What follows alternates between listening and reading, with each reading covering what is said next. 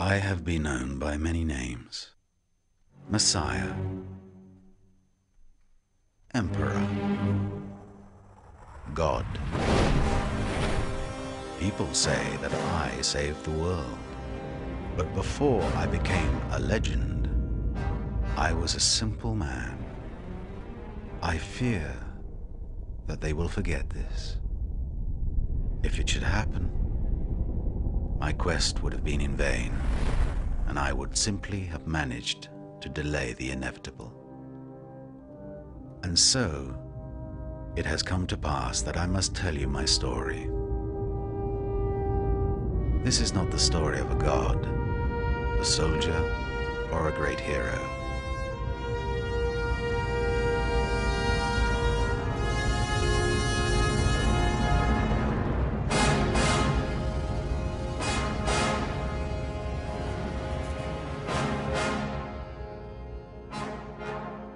It is the story of a man, and therefore your story also.